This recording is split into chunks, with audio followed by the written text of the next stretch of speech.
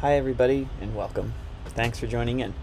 I'm Will Greene, a research associate at the Perry Institute for Marine Science. And today I'm going to be talking to you all a bit about the work I've been doing with PIMS on coral reef photogrammetry, photomosaicing, and 3D modeling. Let's dive in. At first glance, this probably looks just like a photograph of a section of remarkably healthy coral reef. And in a sense, it is. It is a reef. Uh, it's a section of an inshore Acropora, elkhorn, and staghorn coral dominated reef near Abaco in the Bahamas. But this isn't a snapshot from a camera. It's actually a screenshot of a computer visualization of millions of tiny points in three dimensional space, derived from a set of around 3,000 underwater photos using a technology called photogrammetry. The basis for this technology is actually older than photography itself, but it's only in the last several years, with advances in computer processing and digital photography, that it's become possible to use it on a large enough scale to create underwater models of coral reefs, just like this one. We at the Perry Institute are using photogrammetry to help us monitor, restore, and protect coral reefs in the Bahamas. So I think photogrammetry and modeling is wicked cool, and I could definitely bore you all to death with it and talk about it for hours. So I'm going to try to keep this talk pretty streamlined, and I hope I'll have enough cool visuals to keep you awake and engaged. Um, and we're gonna I'm gonna talk for about 45 minutes, and then we're gonna have some time for questions. First, I'll introduce you to what this is all about and give a brief explanation of the technology and how it works. Then I'm going to talk more specifically about the photogrammetry work that PIMS is doing. And I'm going to show you all some demos and visualizations, which will be the fun part, and go into some of the data that we're just starting to pull from this. And I'll finish with a plug for how this can be really a, a useful tool for reef conservation down the road and where we're looking to take this in the future. I'll start with a bit of my background. Uh, I was born and raised on Mount Desert Island on the coast of Maine and fell in love with nature and science and photography with Acadia National Park right in my backyard. Uh, like Craig said, I graduated from Middlebury College in Vermont in 2019 with a degree in conservation biology. So that's the lens that I really look through all of this at. Um, I became interested in GIS and cartography and 3D modeling and spent the last year helping teach GIS at Middlebury. Um, I learned to scuba dive when I was 10 uh, our local dive club is called the League of Underwater Superheroes, hence the pose in this photo of young Will. Uh, but I really got interested in reef science after taking a course at Middlebury that Dr. Dahlgren helped teach. Um, I started talking talking with him about photogrammetry and reef modeling, and we've been working together ever since. Uh, and this summer, I am super grateful to have officially joined the PIMS team, and here I work at uh, on photogrammetry and GIS. So as we all know, uh, coral reefs are in dire straits. And the fact that you signed up for this webinar probably means that you're aware of this. So I'm probably preaching to the choir. Uh, but reefs are really the canary in the coal mine for climate change. Warming oceans have led to increases in diseases, coral bleaching events, and stronger storms. And coupled with pollution and overfishing, reef ecosystems might not be around that much longer in the way that we know them.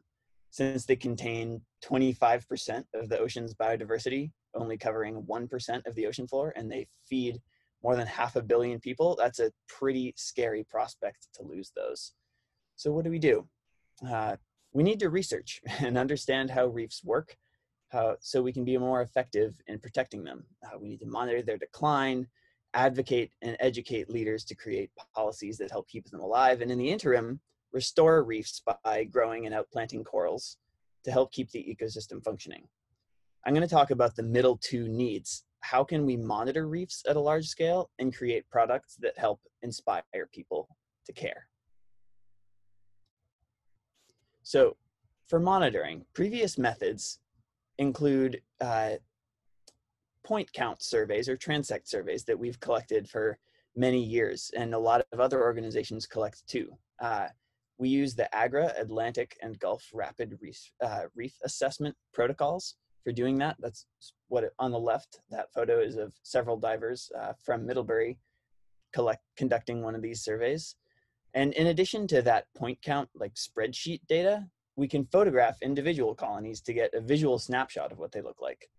These are great, but point counts require a lot of people and a long time, and underwater photos are limited in terms of how much they can capture at once.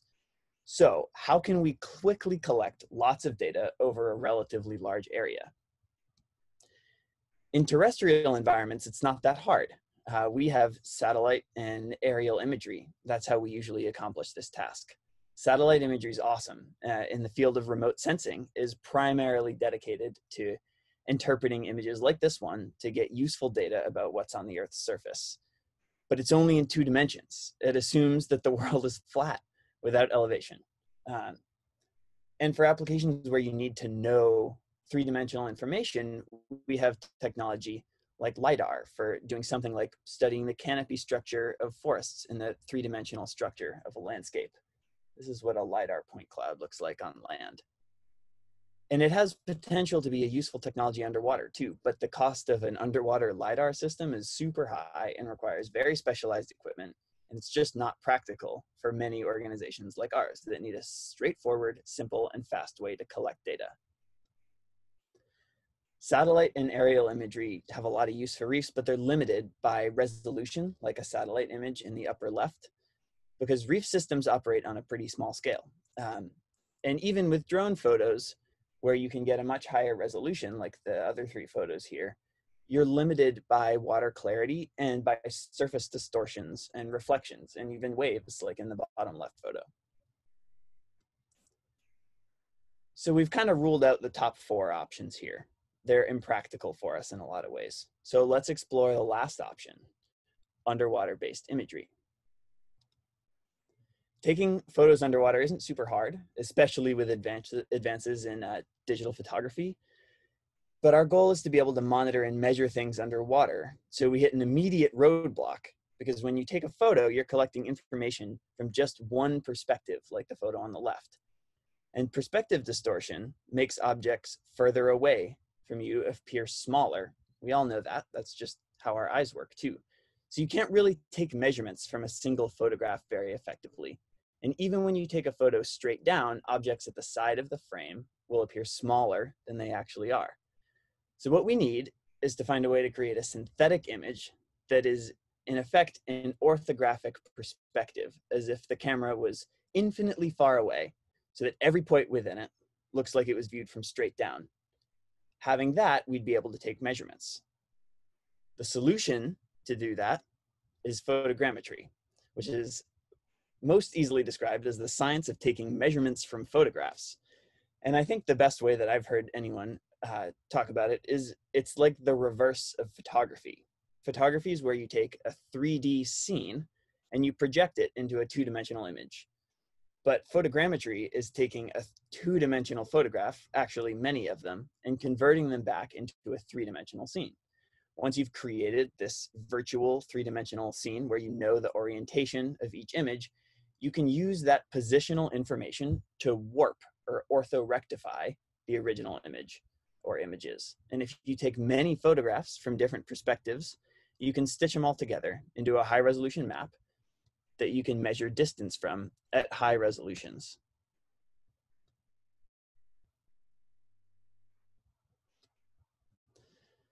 The concept of photogrammetry dates back to actually Leonardo da Vinci, believe it or not, uh, like in the 1400s, who played a key role in figuring out how perspective distortion works.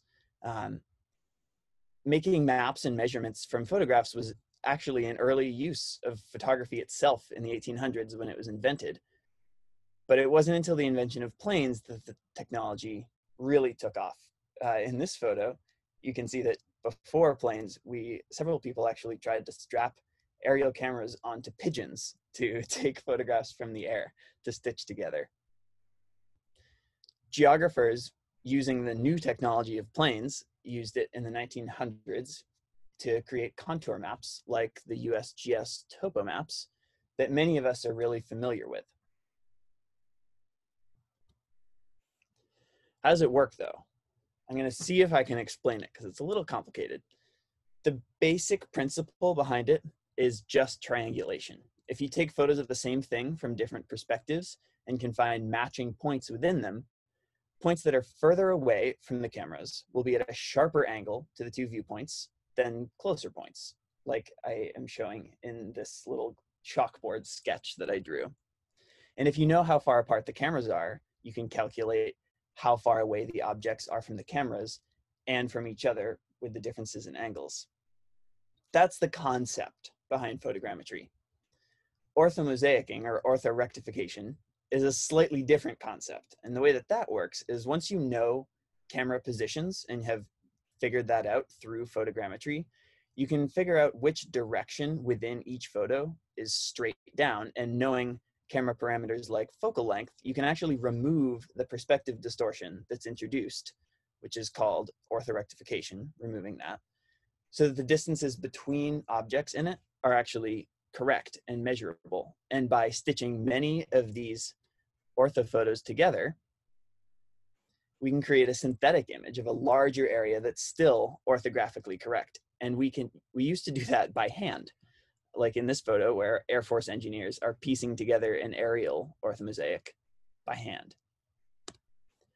But fortunately, it's not quite so hard anymore, and you don't have to, we don't have to do it all by ourselves. Uh, with advances in computer vision technology and processing power, we can now do most of it automatically and on a massive scale using photogrammetry with to with thousands of photos at a time recreate the 3d structure of a scene and i'm going to show you what that looks like pretty soon and then mosaic the original images together into a two-dimensional map an orthomosaic. And there are a lot of software solutions for achieving this. Um, I showed a few of their icons on the bottom some of them may look familiar if you're in the field of photogrammetry. Uh, at PIMS, we're using the one on the bottom right, which is called Agisoft Metashape. Uh, the program is amazingly powerful, um, and it lets us generate a suite of different products. Uh, these orthomosaics that I've just been talking about a little bit, digital surface models that represent the elevation of each point, or in our case, actual three-dimensional mesh models of the scene. And each of these products has a different use, enabling a host of different ways to analyze, quantify, and visualize whatever you're taking photos of. All right, that's all I've got for the background. I hope some of that made sense. I know that I'm talking a little bit fast, uh, trying to get through all of this uh, not too slowly and to keep you somewhat interested. Um, so now let's move on to how we at PIMS are using this technology. And I'll talk a little bit about how it works underwater and what we can actually do with it. And I'm going to show some, some cool visualizations that we've created. So the first step is site selection. And what at PIMS, what we have done is for the sites that we typically collect point count data within the AGRRA database, AGRRA sites, um, we have chosen a plot within that within that site or on that reef, typically about 10 by 10 meters. Um, and then before we get into taking any photographs, we collect georeference information on that site. So what that means is we're we place scale bars, like in the bottom right, that are all exactly 50 centimeters long with color breaks at every five or 10 centimeters uh, and place a bunch of those throughout the scene, usually around five or six. And then on the surface, we collect GPS points at the four corners of the plot or, or, and or really at points throughout the scene. And each of those scale bars that we place on the bottom before we take any photos, we use a dive watch to collect collect depth information for each point and record that just on a clipboard. And then we take the photographs. The way that that works is you swim over the reef in somewhat of a lawnmower pattern. That's the best way I've heard it described. Um, and typically we'll do two passes. We'll go in one direction, like in the image on the bottom left here. Um, and those little flags show where we've taken theoretical georeference points. And once we've done the, the first pass going in one direction, we take photos back over it in the other direction. And we take a photo every second uh, with the camera on intervalometer mode so that it's taking the photos itself. And in order to do this for a site that's around 10 by 10 or sometimes 10 by 20, sometimes even larger, which I'll talk about more later, this can take somewhere around one to 3,000 photographs, depending on conditions like depth and how structurally complex the section of reef is that we're looking at. When we're taking the photos, we try to stay within about two meters of the substrate in order to limit the effects of backscatter and just water absorption of light and particles that may be present in the water. And the way that we thus far have figured out where we are taking these photos is just navigation by memory and looking at the gear that we've placed on the bottom. So as you swim over a section of reef, you remember a coral that you've gone over and then you turn around, swim back over that same section and try to go like about a meter on the other side of whatever coral you just swam over so that you can keep moving and photograph the whole area there's a ton of you you can for photogrammetry you can use pretty much any digital camera that works underwater. Um, many researchers use GoPros for photogrammetry because they're quite inexpensive and very easy to use. Uh, at PIMS, we've opted for a high resolution system. We use a Nikon D850, um, which is 45 megapixels, allowing for really amazing resolution. And we typically use somewhere between a 20 millimeter and a 35 millimeter lens, which allows for a good balance of resolution, like how far we can zoom in, and coverage, how much area each photograph covers. And I'm gonna, at the end of this talk, if you wanna know more about why we choose what we choose uh, in terms of camera equipment, please just ask me um, if you wanna know more about that, and I'll chat about that in the question section. But like I said, we rely on the camera's intervalometer to take a photo every second, and we only use natural lighting because the program has a hard time stitching photos together if you're using your own light source and shadows are changing. Uh, we try to use a shutter speed faster than 1 320th of a second to prevent motion blur. And to maximize the depth of field, basically how much is in focus within each photo, we try to use the smallest aperture possible given how much light we have available. Uh, so if it's pretty dark out or if it, we are at a deep reef, we have to use a larger aperture, which makes a sm- which means a smaller depth of field. Less is in focus, but lets in more light.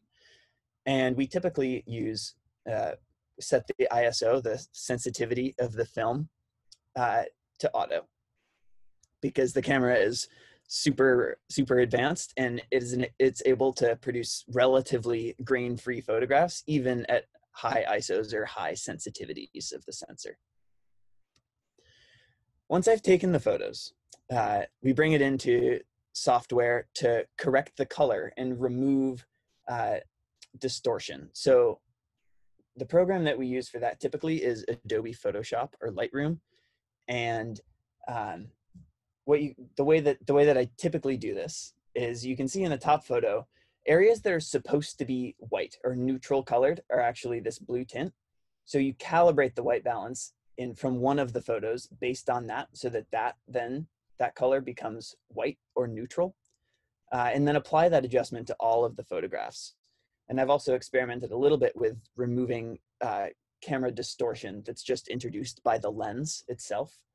Um, in order to create more accurate models, but the the scientific nature of that distortion correction process is something that I'm still working on figuring out. So once I've color corrected the photos, I bring it into Metashape.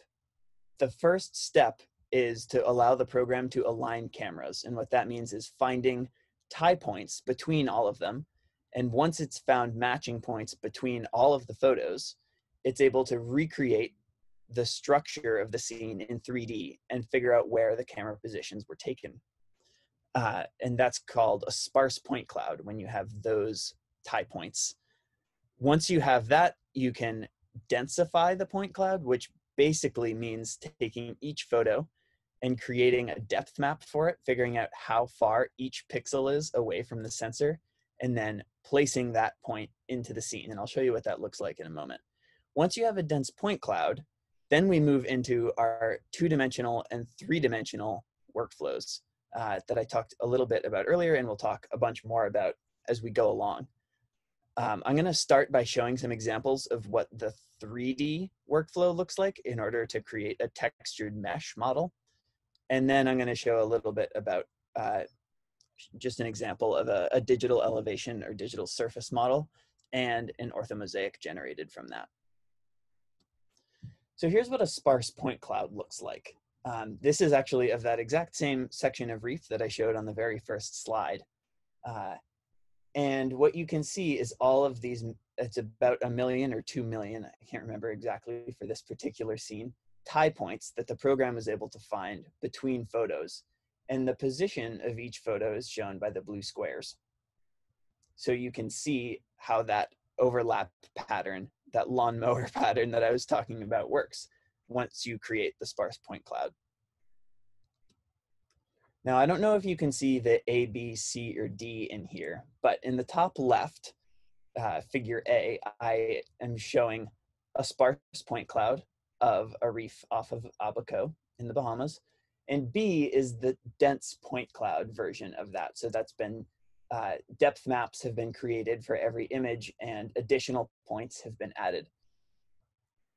C is what I was referring to in the previous uh, two slides ago, a tin mesh. And what that is, is it's a triangular interpolated network, tri sorry, triangular irregular network. And it's basically creating a polygon mesh that does as well as it can to recreate the structure of the reef. And then once you have that structure, you can overlay the imagery that you originally took to and it sort of like places pixels onto that mesh to create a textured mesh, which is part D in this uh, illustration, bottom right. Um, and that textured mesh is an amazing uh, visualization tool that we can share with people and it actually really shows you what a coral reef would look like without water.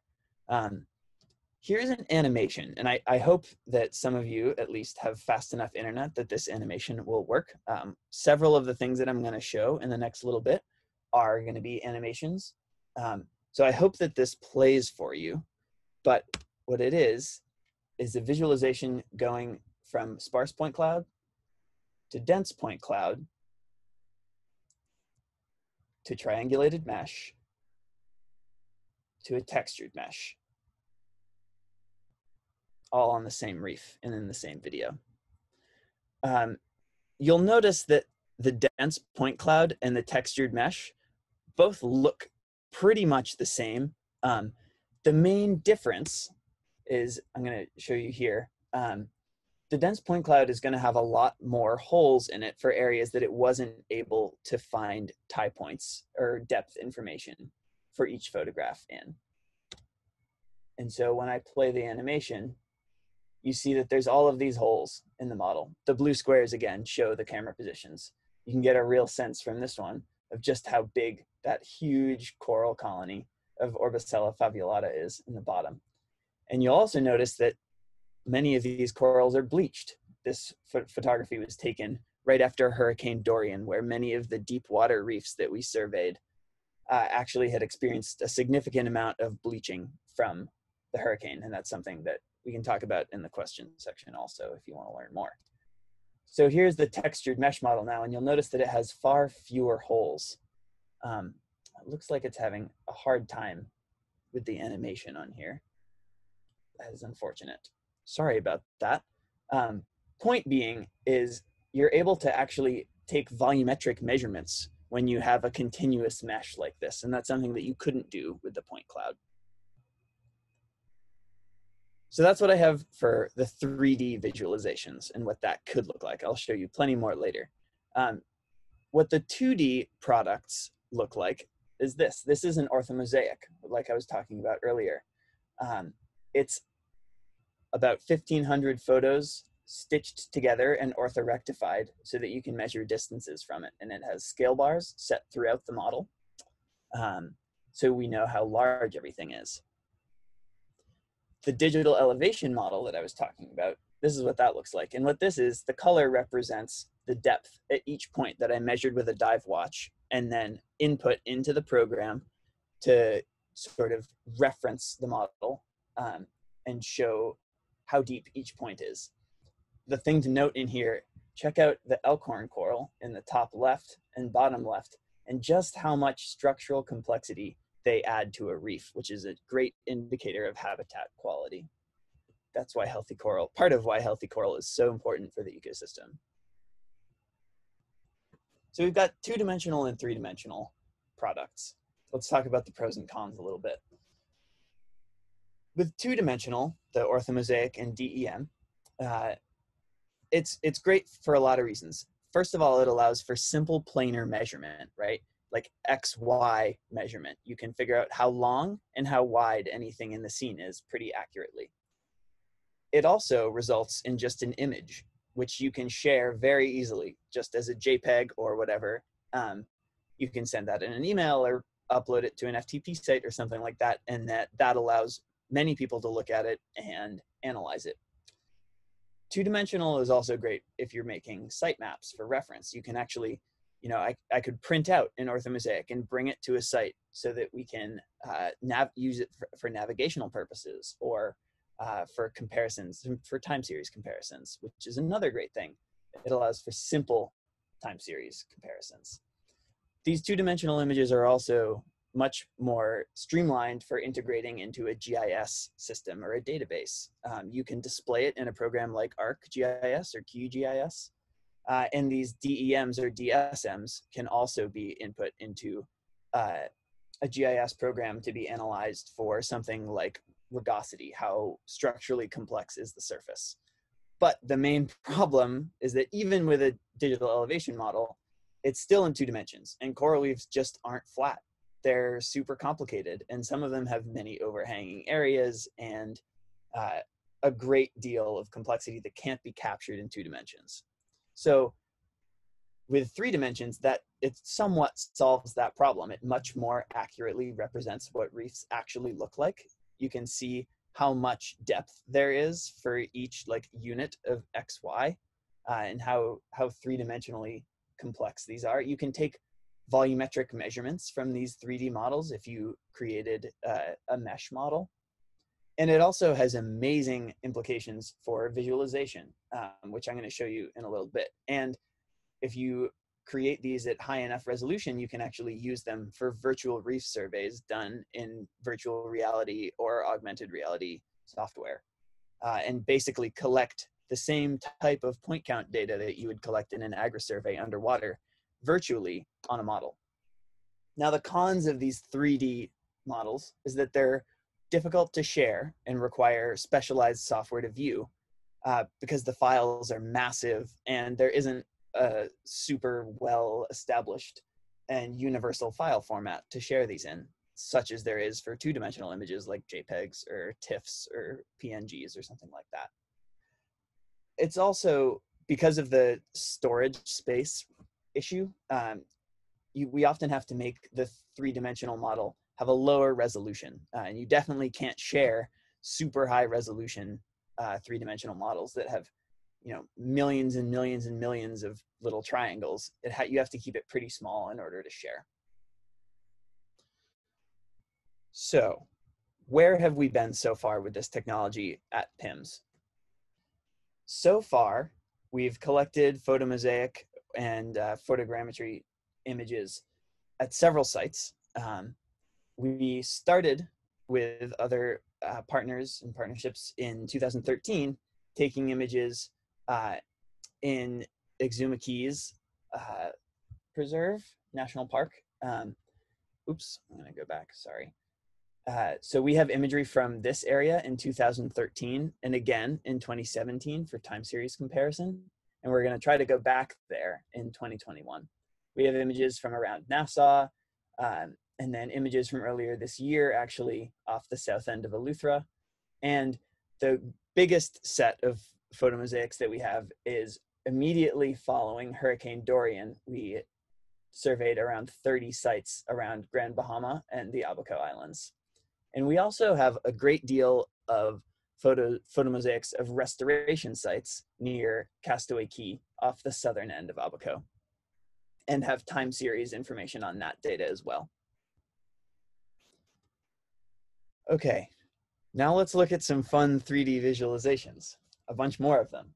Um, what I'm gonna do here is go through, a, go through sets of models and talk about different applications of them. So to start, let's talk about small scale models just of individual colonies, which I think are an amazing tool for education and raising awareness. So I've been talking this whole time about taking thousands of photos of large areas of coral reef, right? Well, you can actually do this same process for single colonies. So in this instance, I took 50 photos of a colony of pillar coral, Dendrogyra cylindrus, um, and recreated a three-dimensional model of it, just this one colony. So I'm gonna play that animation for you. You'll see the images that are flying in around it. Those are the original camera positions that I took photos from, all stitched together into a, a textured 3D mesh model.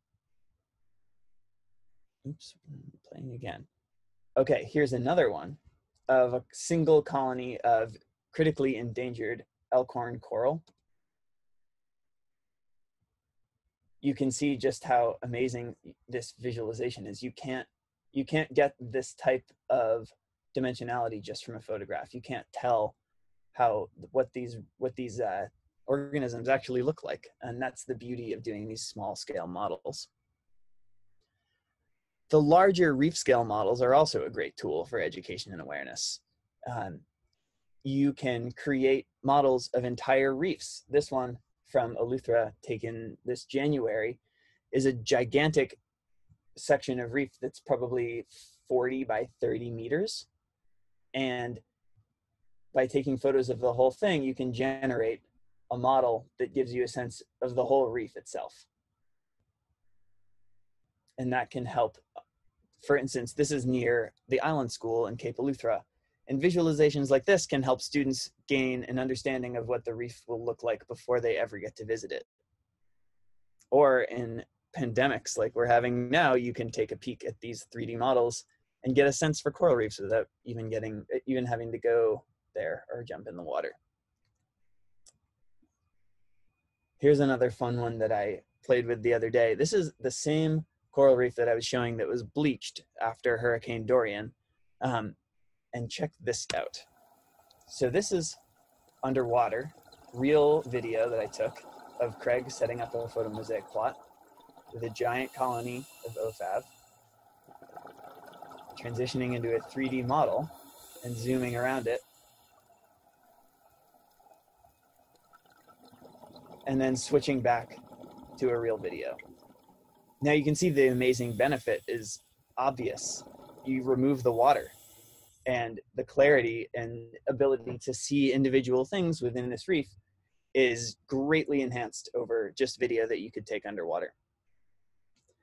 If you would like to check out more of these models, um, I've uploaded a few relatively low resolution ones to my Sketchfab account. Uh, and if we have time at the end of this presentation, I'll, uh, I can, I'll follow that link and we can check out some of those visualizations. So now into research and monitoring. How can we use these tools to advance the research that we're doing here at PIMS?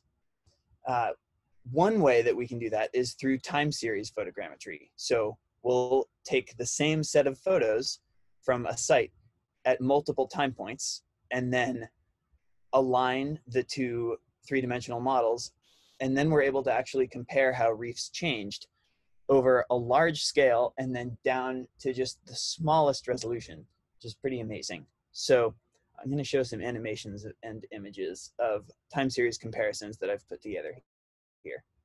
So this is a restoration site. You can actually see all of those little yellow tags. Those are Acropora colonies that we have outplanted. We've grown in a nursery and outplanted on the reef. Um, this is October 2018, and then watch what happens in the video. As we transition to a year later, October 2019, after Hurricane Dorian, you can see the damage that this reef sustained, which was relatively minor compared to many other reefs. But you can see these two colonies right here and right here of corals. Those were not outplants, those were pre-existing. You can see that they just get wiped right off the reef by the force of the hurricane. Oops.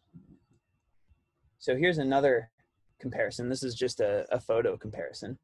Here's that, this is actually that same reef, uh, one from June 2019, and then again in October 2019. And I'm gonna toggle back and forth between these a few times.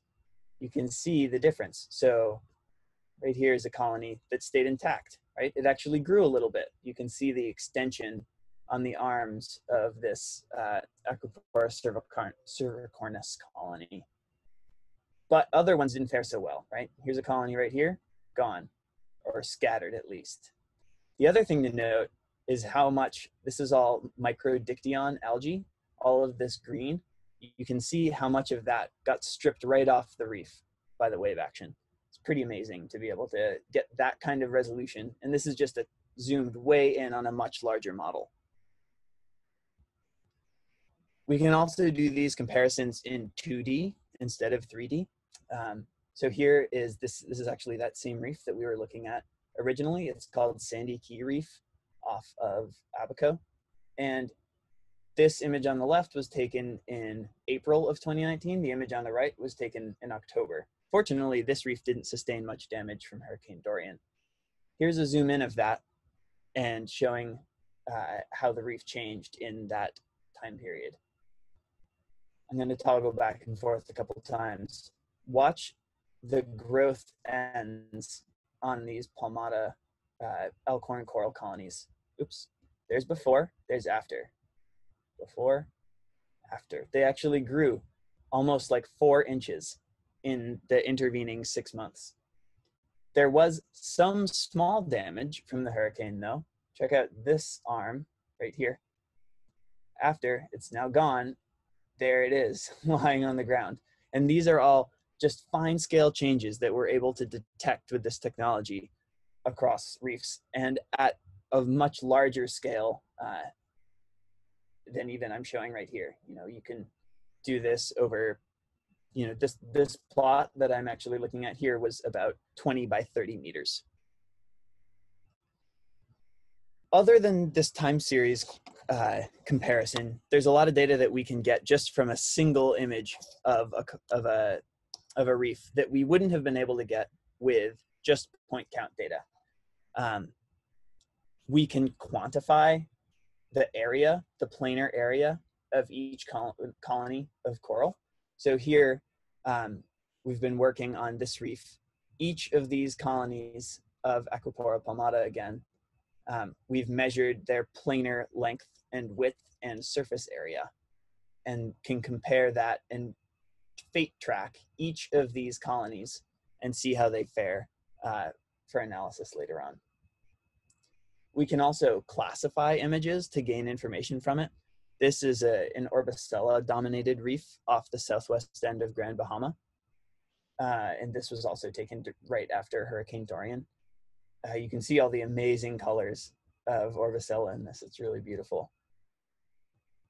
What I have done here is used a classification program to uh, detect live coral versus dead coral. So here the green represents live coral, the uh, red is the not live coral basically. And once you've done a classification like this, I can very easily quantify how much of the reef is actually live coral. This section, for example, is 16% live coral which is not too bad for the Bahamas in this day and age. Another use for this is just simple visualization and map making, cartography, and cataloging reefs. Here is a site map of Mermaid Reef off of Marsh Harbor in Abaco. This is pre-hurricane. Um, and you can see immediately that it's an amazing tool for getting a sense of what the reef looks like and where things are in it. And all of these little white squares that you can see are actually colonies, tagged colonies of the coral here that we have genetic, we've collected genetic samples from. And so having this map is an amazing complement to having that genetic data. We can tell where on the reef each sample came from. You can also use it to visualize larger sites like this one. This is the same reef that I was showing earlier. Um, it's just a simple, easy way to gain a much better understanding of a large area underwater. And that's something that you can't really do even when you're swimming on a reef because water uh, visibility is so limited. Even in the Bahamas where water, uh, where the visibility often can be almost 100 feet sometimes. And on a slightly more somber note, um, the reality is that we is that uh, vibrant, healthy reefs as we know them right now are going to be less and less common in the future. And many of the coral species that I've shown you in these photographs and models are endangered or critically endangered. So having a robust snapshot of what they were actually like at a given point in time and how they grow and what uh, ecosystems they form is a pretty amazing thing to have. And one day, I hope that it's not, but having these models could be uh, kind of an analog to how ornithologists have audio recordings of bird species from species that are now extinct. It's a relic of a of a time in the past. Here's another animation of that Orbicella reef off of Grand Bahama. So I'm gonna wrap this up now. Oops. Uh, so there are a lot of challenges associated with this technology. I've uh, I've kind of glossed over most of it so far, but the georeferencing and accuracy assessment of these models is actually quite hard. Um, georeferencing is only as good as your GPS, and most GPSs that you can, you know, swim in the water with, you you can only use them on the surface for one, uh, and their accuracy is quite low, only like two meters. And when you're working with a reef that's only 10 or 20 meters, uh, that discrepancy can actually be a significant problem. Um, the other thing to think about is how internally consistent these models are and how well we're able to tell like whether the three-dimensional structure that we're seeing in our models is representative of real life and the way that we've tried to do that is by placing scale bars throughout the model you can use several of them or about half of them to scale the model accurately and then see how well the model is able to predict the length of the other scale bars. Underwater, you're reliant on having a very complete survey. If you don't take a photo of a spot, that becomes a hole in your model and you don't have that data to work with in the future. You're also limited by water quality. Um, if it's really murky, sometimes the program has a very hard time stitching the photos together. And the computer itself is a problem because we processing thousands of photos at once is really difficult and requires a lot of processing power. And it also requires immense amounts of storage space. Uh, each model can be up to 200 gigabytes of data or more. So to wrap things up, moving forward, we have sort of five things that I've thought of that we need to do with this technology. First of all, we need to refine it and improve our efficiency, accuracy, and consistency uh, so that we can take we can take photos and have it like have a consistent protocol that allows us to create models that are easily comparable to each other. Um, we have a lot of work to do in terms of analyzing the data that we already have. We have somewhere in the realm of 80 reefs surveyed at this point, and there's so much data that can be extracted from those. But the benefits of creating these models is that we have them to work to collect data from forever um, moving forward. And as technology improves, we can uh, like reanalyze the photos and recreate models with higher resolution um, and sort of allow it allows us to keep moving forward with this technology into the future and as we figure out better ways to do it we also need to share this information and these models to advocate for good policy for coral reefs and to inspire people to care about them. Um, we need to go back and collect more data, revisit the study sites that we've already photographed, and pick new ones to generate baseline data for. And then also, I'm interested in expanding the scope of collection at each site so that we can photograph larger areas more quickly um, and figure out how to create maps of entire reefs rather than just a small section. And the last one is I would love to figure out how to crowdsource this and collaborate with our partners and with dive shops and find ways to make collecting this data and photographing reefs more accessible. You know, I, it'd be amazing to teach other people how to do the photography portion of this so that we can have uh, many different people collecting imagery and put it all into one database so that we can monitor much more effectively than having just a few people fly around um, and photograph just just once or however often we can get down there.